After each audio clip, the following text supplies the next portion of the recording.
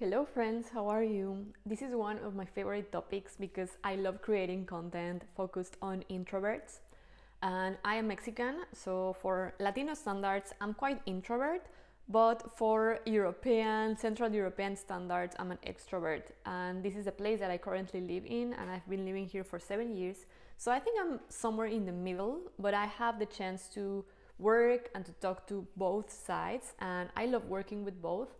But I especially appreciate when I have a one on one with someone who considers herself or himself an introvert, self conscious, self aware, and when they open up to share their fears or their thoughts with me, for me it's super valuable because I know it's a challenge for them.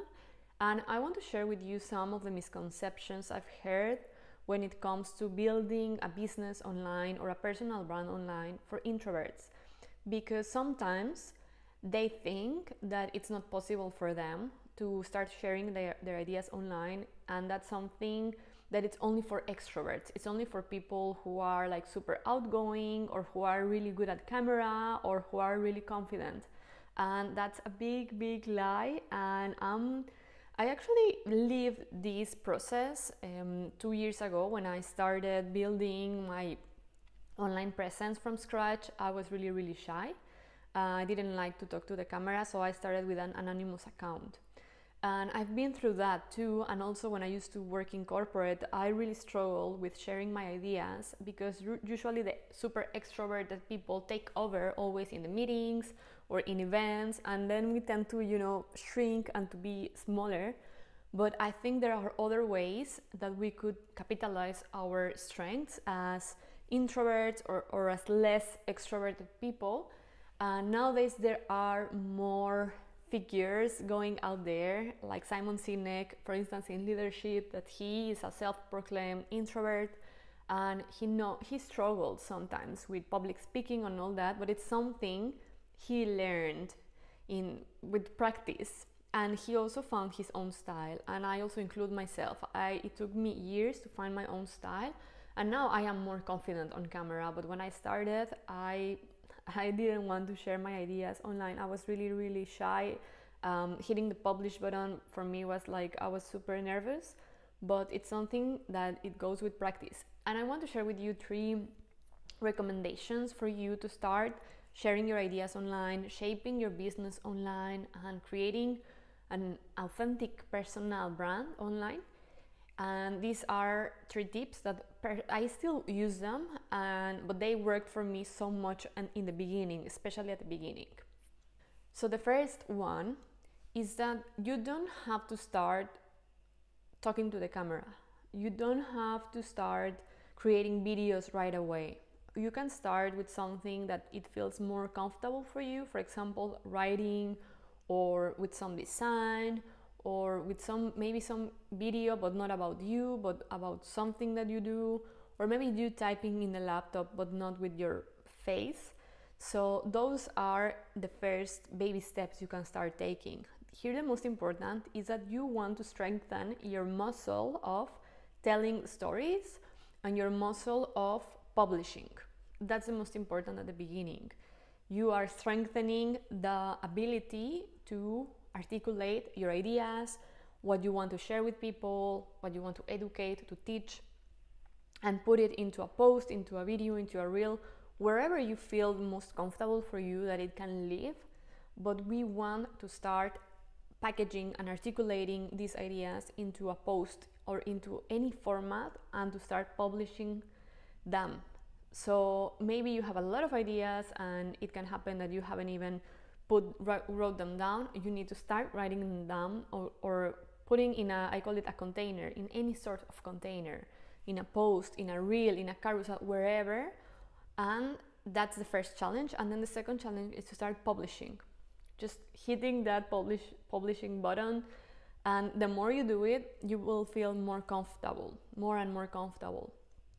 And the first months probably they are a little bit uncomfortable especially when you have friends or family following you. But from my experience i can tell you that most people will be like wow you're so inspiring rather than oh what are you doing?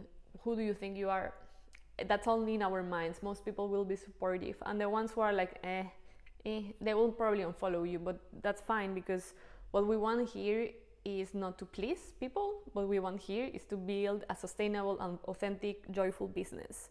And if people who unfollow us are not even our ideal client, we don't really care about them. So relax about that. Actually, it's, it's the best is when people right away unfollow you because that's that's good for them. They don't keep seeing your content if they don't are not interested, and it's also a good sign for you. Like okay, only the ones who will remain will be the ones who are interested in what I am sharing.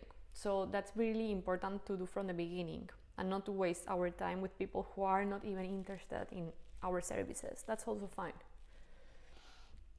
And then the second tip that I want to share with you is to I've seen this with with many introverts actually or not only introverts would be people who are really self-aware like they want to know a lot about what they talk about and sometimes they feel like really shy or afraid of just being self-proclaimed experts in something. So what i see with them is that they invite a lot of experts in some subjects. So they do collaborations on podcasts or youtube videos and they are mostly asking the questions. So the spotlight and the attention goes to the guest and not to the host. So that's also a really good way for starting if you feel like and you can start a podcast or youtube video and with these people who are expert in topics depending on what what's your niche and what's your audience you can invite people on certain um, fields that will be interesting for your audience or for your the audience that you're building. And the last tip and i also really like this one because i struggled so much with this do, you don't need to speak like an expert. You don't have to say like, "Hey guys, this is the only way to lose weight."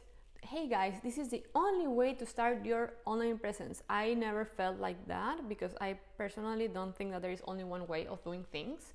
And also, I don't feel like I'm a super expert. And if you are also into Buddhism, you can understand that we are never experts in life like it's a continuous learning never ending learning. So being a self-proclaimed expert feels like a little bit off and it takes a lifetime and many lives to really know about a subject. So i don't support that idea but what you could do is always speak from your truth and from your experience. You can actually use those words from my experience in my perspective from what i have observed and if you already have some experience or some clients then you can already say like oh my client i've, I've observed this or from this uh, group coaching or from this workshop i've noticed that.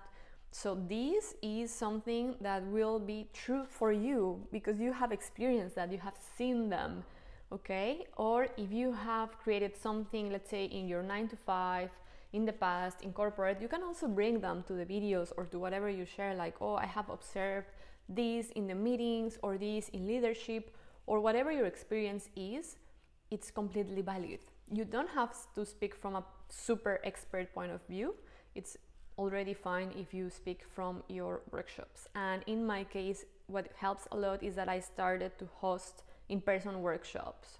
I started around two years ago and that boosted and strengthened so much my sense of confidence because I knew that what I was talking about in camera or post or whatever was not BS and it was not only my assumption or only like um, an idea there floating. No, it's something that I have observed. It's something that, in a way, it's proven. Okay, proven. You need more, like a bigger sample, but it's something that I've seen many times in many group coachings I've held or workshops I've held. So I feel really confident to talk about that. And if someone asks me something else that I am not so aware of, it's completely valid also to say, like, I don't have experience with that, or from my perspective, this is what I observed, but I, I haven't observed those cases. That's also fine. Uh, I've never seen myself as someone who would come and tell you these are the only three tips, like as an introvert, you need to follow. Like, that's not with me and i invite you to find also your own unique way of communicating and you don't have to be a super expert and self-proclaimed guru like no so find your way and the last words is that if you need help I'm really happy to work with you. You can check my offers. I will leave the link on the box. But the most important is that you feel like it's possible for you with practice. So it's just like a muscle, muscle of telling stories, of, sharing your story, of publishing, and also being real authentic because in that way others will connect with you, but other people who also connect with your style and with your personality. Um, so it's fine to let go people who are not a good fit with you or they you don't match with them but the ones who are really interested in your message or maybe resonate with you will stay and we want those so thank you for watching and see you next week